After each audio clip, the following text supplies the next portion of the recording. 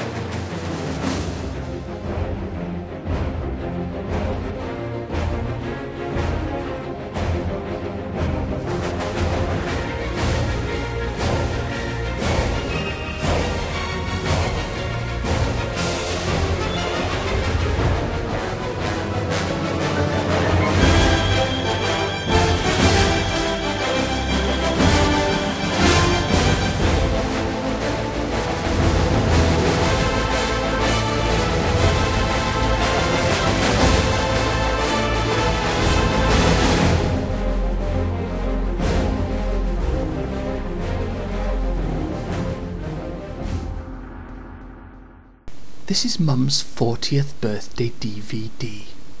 It is presented by myself and also our latest edition, The Young Poppy, is involved. Rather too much for my liking. We will show you our favourite haunts around 14 Huxley Close and we'll also give you an insight into the relationship between myself and the aforementioned young Poppy. I do hope you enjoy our quick tour of life with the Loves, especially Mum. Happy birthday, Mum. Hope you enjoy your day. You're a lovely mum and have a lovely day. This is our house and our car where I live with my mum, dad, Sam, mum, Emily, mum and dad, and Meg, my big sister Meg, and that's my car again there, look. Anyway, this is a quick video. What? What's up there, Meg? Poppy and Meg move over to see Lily. This is Lily's house. It's where she lives, and it's her house, and we don't go in there because Lily is antisocial and dirty and also cheap. But me and Meg's quite cheap as well. She She's cheaper than me. I'm very, very expensive, and we sleep in the house. But Lily sleeps out here in the cold all winter long. It must be freezing in there. Lily, is it cold in there? What? That's the problem with you, Lily. You're very, very antisocial. Leave her alone, Poppy. She's all right where she is. She likes it out here. What's Sorry about that. I think that's one of our cameramen having a little bit of a giggle. I don't know why anybody would think he's laughing at us, Meg. Anyway, Lily, if you're not going to come out, we're off. Bugger off! Leave me alone! Meanwhile, Poppy and Meg have spotted the car again. They think it's time for a walk. We're going for a walk next. We're going to Lithell or the Mere or Lith hill or maybe for a walk somewhere because mum takes us in the car and we get out and we have a run and we come back in the car, don't we Meg? Having realised that they're not actually going anywhere, our two friends move through to the back garden. This is Dad's lawn. Unfortunately, Meg's ruined it. Look at it. She runs around like a mad thing and she's dug it all up. I keep telling her to stop, but she never listens. Do you, Meg? That's absolutely wrong, isn't it? Off camera, Meg has made a complaint. She feels that the last scene made her look like a scapegoat for the state of the garden.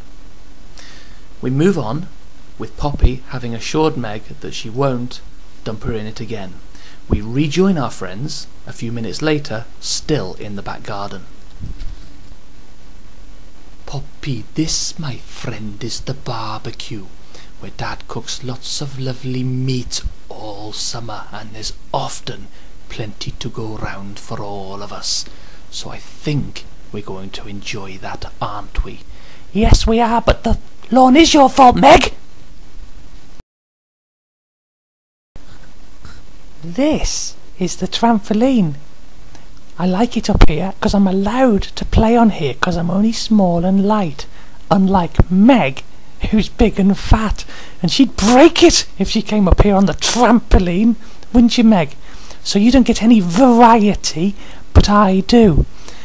Anyway, I'm going to play on here now for a little while while you disappear, Meg, or go to the toilet or something. Poppy has had a play on the trampoline, Meg has been to the toilet, and both dogs have now moved over to the bench. Now then, Poppy, there's not been a lot of respect, really, has there, from you during the making of this DVD. So, I'm going to tell you a little story about loyalty and respect. It's about a border collie called Tip. Tip! Yes, Tip. In 1953, Tip and her master, a Joseph Tagg, isn't it? An 81 year old gamekeeper had been out on one of their long walks on the moors when, very sadly, the old man passed away. For fifteen weeks search parties failed and were set back due to severe frost and snowstorms. The man and his dog were presumed dead when a couple of men rounding up stray sheep in early spring came across the body of Tip's master with a starving and sickly Tip on guard beside it. She had waited for over three months through the worst of the winter for help to come for the one she loved.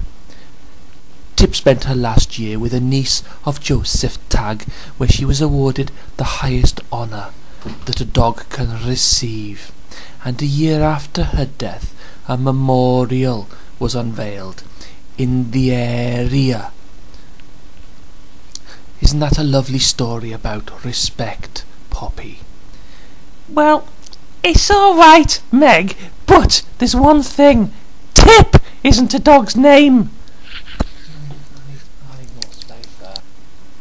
Tip is a place where you put rubbish, where mum and dad go on the weekend with the rubbish. That's what tip means, not a dog's name. So I don't believe that that's a real story. And another thing I wanted to say. The garden is your fault, Meg, and so don't be all funny arsed with me about it just because I'm a young puppy. I have to run around and get exercise, but most of the damage is caused by you, isn't it, Meg?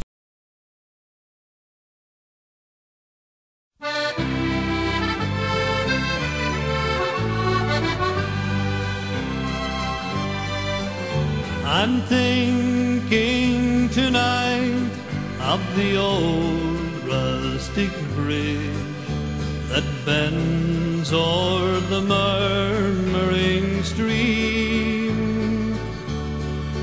It was there, Maggie dear, with our hearts full of cheer. We strayed neath the moon's gentle beam.